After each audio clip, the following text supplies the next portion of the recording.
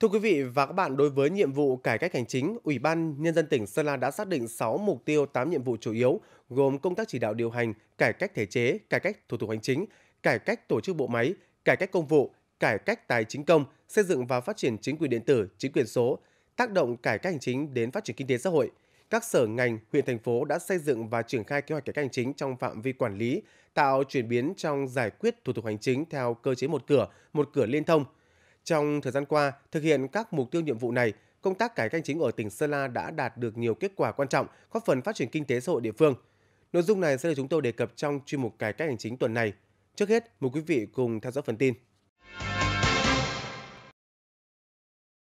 Thời gian qua, Ủy ban Nhân dân tỉnh đã ban hành nhiều chương trình kế hoạch về việc đẩy mạnh công tác cải cách hành chính nhà nước trên địa bàn tỉnh giai đoạn 2021-2025, trong đó nhấn mạnh vai trò trách nhiệm, giao nhiệm vụ cải cách hành chính cho người đứng đầu các đơn vị địa phương.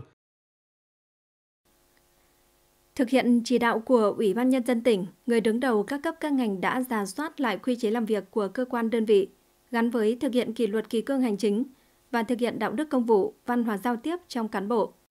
tích cực đổi mới phương thức làm việc, tăng cường bồi dưỡng nâng cao trình độ chuyên môn, tinh thần trách nhiệm, ý thức tổ chức kỷ luật, đẩy mạnh ứng dụng công nghệ thông tin, chủ động ra soát, đơn giản hóa thủ tục hành chính, quyết liệt chuyển đổi số để nâng cao năng suất lao động, hiệu quả hoạt động, cải thiện chất lượng phục vụ nhân dân. Nhờ đó tạo chuyển biến rõ nét trong công tác cải cách hành chính ở mỗi cấp mỗi ngành. Kết quả chỉ số cải cách hành chính, chỉ số hài lòng của người dân doanh nghiệp luôn được cải thiện qua từng năm.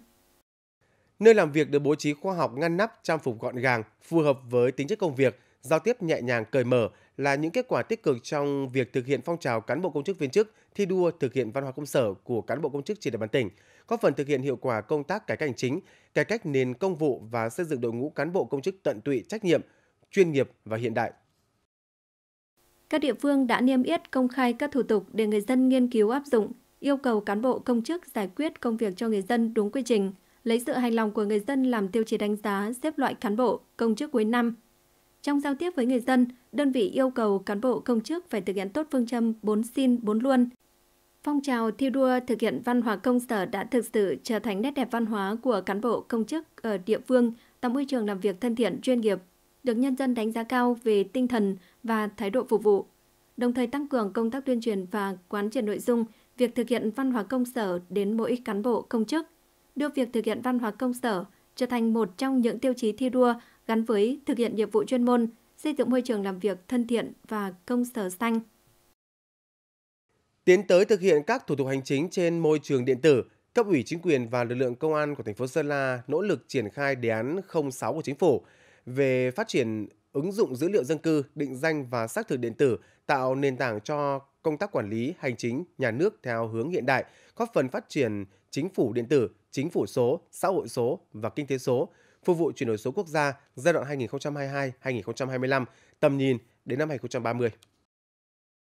Thành phố Sơn La đang thực hiện 15 trên 25 dịch vụ công thiết yếu theo thẩm quyền, trong đó 13 trên 15 dịch vụ công đang thực hiện. Duy trì cập nhật bổ sung thông tin công dân, đảm bảo cơ sở dữ liệu quốc gia về dân cư luôn đúng, đủ, sạch sống, với 29.505 hộ, 120.544 nhân khẩu. Thành phố Sơn La đã thành lập 12 tổ công tác Ủy ban nhân dân xã phường, 145 tổ công tác tại tổ bản tiểu khu, tuyên truyền hướng dẫn người dân nhận thức đầy đủ thực hiện cấp và sử dụng định danh xác thực điện tử. Với phương châm đi từng nhà, ra từng người, thống kê danh sách đôn đốc công dân thực hiện, tạo điều kiện thuận lợi phục vụ nhân dân và lực lượng thu nhận hồ sơ căn cước công dân, tài khoản định danh điện tử, hoàn thành chỉ tiêu theo đúng tiến độ. Thưa quý vị, trong năm 2022, các địa phương, đơn vị đã chủ động tích cực đổi mới phương thức lãnh đạo, chỉ đạo, điều hành thực hiện cải cách hành chính, bảo đảm hoàn thành tốt các chỉ tiêu nhiệm vụ cải cách hành chính đã đề ra trong kế hoạch của năm, thường xuyên theo dõi đánh giá, quán triệt thực hiện nhiệm vụ cải cách hành chính để kịp thời phát hiện và chỉ đạo xử lý những hạn chế vướng mắc trong quá trình triển khai.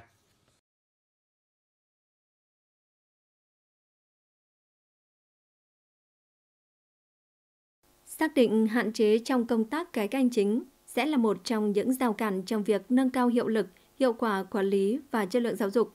Thời gian qua, Sở Giáo dục và Đào tạo tỉnh Sơn La luôn tập trung nỗ lực đẩy mạnh công tác cải cách thủ tục hành chính. Nổi bật là đã làm tốt công tác tuyên truyền các chủ trương, chính sách của Đảng và Nhà nước và của tỉnh về công tác cải cách hành chính. đồng thời tăng cường hoạt động tuyên truyền về công tác cải cách hành chính, kiểm soát, giả soát chặt chẽ các thủ tục hành chính được thực hiện tại bộ phận tiếp nhận và trả kết quả thuộc sở. Qua đó nâng cao ý thức trách nhiệm của mỗi cán bộ, viên chức trong công tác cải cách thủ tục hành chính. Chỉ đạo toàn ngành thực hiện tốt cái việc tuyên truyền đến cán bộ, ở giáo viên, nhân viên, học sinh, phụ huynh hiểu được cách thức đăng ký khi thực hiện các à, thủ tục hành chính trên cổng thông tin của sở cũng như của tỉnh để giảm bớt được cái thời gian rồi công sức tài chính của các tổ chức và cá nhân khi đến à, thực hiện các thủ tục hành chính đã thực hiện tích hợp ờ, trên hệ thống quản lý chất lượng và ờ, hệ thống này được xây dựng theo bộ tiêu chuẩn ISO 9001-2015 và ISO 21001-2018 theo tiêu chuẩn quốc tế. 100% công chức viên chức của Sở sử dụng hộp thư điện tử công vụ để trao đổi công việc, giúp cho cơ quan đơn vị và công chức viên chức trao đổi, nhận gửi thông tin phục vụ hoạt động điều hành, tác nghiệp của cơ quan trên môi trường mạng nhanh chóng, thuận lợi an toàn. Trong công tác cải cách thể chế, Sở đã đẩy mạnh công tác kiểm tra, giám sát, đôn đốc việc tổ chức thực thi pháp luật ở các cơ sở giáo dục, xây dựng và triển khai thực hiện kế hoạch giả soát, hệ thống hóa văn bản quy phạm pháp luật,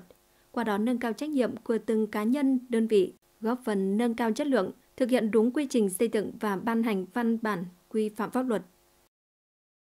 Thanh tra sở đã phối hợp với các phòng chuyên môn thuộc sở tham mưu cho lãnh đạo sở trình Ủy ban dân tỉnh, trình Hội đồng nhân dân tỉnh xây dựng và ban hành văn bản quy phạm pháp luật đúng quy định. À, các văn bản quy phạm pháp luật do Hội đồng nhân dân, Ủy ban dân tỉnh ban hành trong lĩnh vực giáo dục và đào tạo đúng thẩm quyền, hình thức và nội dung phù hợp với quy định của pháp luật, đảm bảo cơ sở pháp lý, thể thức, kỹ thuật trình bày văn bản thực hiện tốt công tác tuyên truyền, đẩy mạnh nâng cao chất lượng giải quyết thủ tục hành chính cho tổ chức và người dân qua dịch vụ công trực tuyến mức độ 3, 4 với các thủ tục hành chính thuộc thẩm quyền giải quyết của Sở. Nâng cao hiệu quả sử dụng dịch vụ bưu chính công ích. Hiện nay có 5 trên 85 thủ tục thuộc lĩnh vực giáo dục và đào tạo thông qua dịch vụ công trực tuyến mức độ 4. Sau khi à, đã được cán bộ phụ trách một cửa hướng dẫn thì ờ, người dân có thể gửi các cái hồ sơ đó qua dịch vụ bưu chính công ích và sau khi ờ,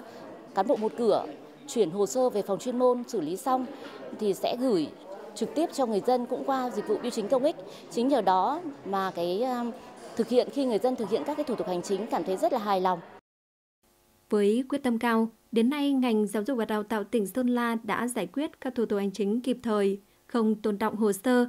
Thông qua việc thực hiện một cửa liên thông, ý thức trách nhiệm của cán bộ, công chức trong thực thi công vụ từng bước được nâng lên, thái độ phục vụ nhân dân ân cần chu đáo. Trong quá trình ờ, giấy cái bằng của tôi nó bị sai lệch nên tôi đến chỗ ờ, trung tâm hành chính công của tỉnh để ờ, chỉnh sửa lại bằng tốt nghiệp phổ thông trung học để phục vụ trong cái cuộc sống của tôi. Thì đến đây cũng được chị Ờ, hướng dẫn tất cả các thủ tục ờ, và nhiệt tình sau 3 ngày thì tôi đã nhận được cái bản sao rồi. Đẩy mạnh cải cách hành chính đã tạo sự thống nhất cao trong vận hành bộ máy, sự thống nhất trong cán bộ lãnh đạo, công chức viên chức tại Sở Giáo dục và Đào tạo. Về sự đổi mới cách tiếp cận khi thực hiện các nhiệm vụ được giao theo hướng đề cao hiệu quả, cải thiện mối quan hệ theo chiều tích cực giữa cơ quan làm thủ tục hành chính với các cá nhân, tập thể đến giải quyết thủ tục hành chính. Thông qua cải cách hành chính, bộ máy quản lý, việc thực hiện chế độ, chính sách trong ngành giáo dục và đào tạo ngày càng khoa học, góp phần vào kết quả, thành tích chung trong cải cách hành chính của toàn tỉnh. Tăng cường tư vấn truyền thông để tổ chức cá nhân tham gia đăng ký trực tuyến, à, nhận và trả kết quả giải quyết thủ tục hành chính qua dịch vụ bưu chính công ích và tiếp tục nâng cấp hệ thống quản lý chất lượng tích hợp được xây dựng theo bộ tiêu chuẩn ISO 9001-2015 và ISO 21001-2018, đẩy mạnh cải cách thủ tục hành chính với phương châm là nhanh gọn, minh bạch, hiệu quả. Còn tại Phòng Cảnh sát Phòng cháy chữa cháy và Cứu nạn Cứu hộ Công an tỉnh Sơn La, việc giải quyết các thủ tục hành chính được đơn vị coi là mục tiêu tập trung thực hiện để tạo thuận lợi tối đa cho người dân doanh nghiệp. Tính đến thời điểm này, thông qua Cổng Dịch vụ Công, Bộ Công an, người dân doanh nghiệp đã có thể sử dụng dịch vụ công trực tuyến mức độ 3, mức độ 4 với 16 thủ tục hành chính ở cấp trung ương, 17 thủ tục hành chính ở cấp tỉnh. Chúng tôi đã tập trung tuyên truyền, à, tiếp tục tuyên truyền phổ biến đến người dân các cái thủ tục hành chính và đặc biệt là liên quan đến các cái ờ, chỉ đạo của Bộ về tiếp nhận ừ, và giải quyết thủ tục hành chính trên môi trường mạng theo mức độ 3, mức độ 4 để tạo điều kiện cho người dân có thể ở bất kỳ đâu, ở chỗ nào trong 24 giờ mà ở đó có môi trường mạng thì đều có thể nộp được cái thủ tục hành chính về phòng cháy cháy và có thể tiếp nhận được cái nội dung này. Công ty cổ phần Điện 26 chi nhánh Sơn La là đơn vị kinh doanh các mặt hàng điện, thiết bị phòng cháy chữa cháy và cứu nạn cứu hộ. Vì vậy, các hồ sơ thủ tục cần giải quyết khá lớn. Nếu như trước đây, muốn giải quyết hồ sơ, thủ tục hành chính liên quan đến lĩnh vực phòng cháy chữa cháy, công ty phải lên tận đơn vị để nộp hồ sơ, thì từ tháng 5 năm 2022, công ty chỉ cần hoàn thiện giấy tờ và gửi lên cổng thông tin của Bộ Công an, tiết kiệm thời gian, chi phí rất nhiều. Hiện tại thì tôi thấy cái thủ tục hành chính ờ, về uh, thủ tục về hành ờ, phòng cháy cháy tương đối là là thuận tiện khi mà chuyển sang uh, hồ sơ về điện tử. Cụ thể là các hồ sơ về phòng cháy được gửi lên cổng thông tin uh, Bộ Công an ấy, cổng dịch vụ công Bộ Công an. Thì cái này có rất là thuận tiện là công ty về hồ sơ ấy sẽ đảm bảo thứ nhất là đầy đủ các nội dung và thứ hai là thuận tiện trong việc là chủ động nộp hồ sơ Đấy, công ty uh, nộp uh, thời gian nào cũng được. Với mục tiêu minh bạch, công khai, tiết kiệm thời gian chi phí, đẩy mạnh cải cách hành chính mang đến sự hài lòng cho người dân doanh nghiệp. Lãnh đạo đơn vị thường xuyên chỉ đạo giả soát những quy định về thủ tục giấy tờ, biểu mẫu, thời hạn giải quyết, đề xuất kiến nghị bổ sung, sửa đổi các quy định về quy trình thủ tục hành chính không còn phù hợp bố trí đội ngũ cán bộ tiếp công dân có đầy đủ điều kiện và trình độ chuyên môn, kỹ năng ứng xử giao tiếp, thái độ tôn trọng, phục vụ nhân dân, tạo mọi điều kiện thuận lợi để người dân giải quyết thủ tục hành chính. Bản thân luôn lấy sự hài lòng của tổ chức, cá nhân và doanh nghiệp là thước đo chất lượng và hiệu quả phục vụ. Vì vậy, trong công việc được giao, bản thân luôn nêu cao tinh thần trách nhiệm, có tác phong, thái độ làm việc nghiêm túc, cởi mở, thân thiện và chuẩn mực và hướng dẫn tận tình cho các cá nhân, tổ chức, doanh nghiệp đến thực hiện việc giải quyết các thủ tục hành chính một cách đầy đủ, rõ ràng và chính xác và không để tình trạng cá nhân, tổ chức doanh nghiệp nộp hồ sơ quá nhiều lần dẫn đến việc mất nhiều thời gian và chi phí đi lại.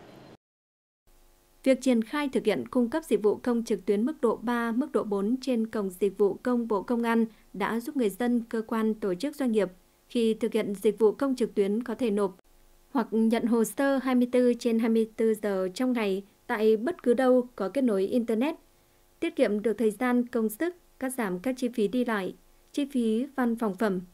Người dân, cơ quan, tổ chức doanh nghiệp có thể theo dõi tình trạng quá trình giải quyết hồ sơ của cơ quan công an. Tiếp tục tăng cường à, kiểm tra, à, đôn đốc cái việc thực hiện làm sao đó để, để nhân dân cũng biết nắm được các cái quy định về các cái thủ tục hành chính, rồi nắm được các cái ờ, thủ tục cũng như là cái mức lệ phí theo quy định để thực hiện đúng đủ và phối hợp chặt chẽ với lực lượng cảnh sát phòng cháy cháy ở các cấp cấp tỉnh, cấp huyện, cấp xã để làm sao đó cái thủ tục hành chính được ờ, đáp ứng tốt nhất. Thứ ba là chúng tôi trong thời gian tới sẽ, và hàng năm chúng tôi đều có cái tổ chức cái hội nghị đối thoại với lại các cái tổ chức rồi cá nhân ờ, tham gia giải quyết môi trường về thủ tục hành chính đối với lại lĩnh vực phòng cháy cháy để thông qua đó nắm bắt được những tâm tư nguyện vọng, những cái khó khăn vướng mắc để tiếp tục tháo gỡ cho người dân. Năm 2023, các địa phương sở ngành tiếp tục thực hiện nghị quyết số 03 của Ban chấp hành Đảng bộ tỉnh về đẩy mạnh cải cách hành chính nhà nước tỉnh Sơn La giai đoạn 2021-2025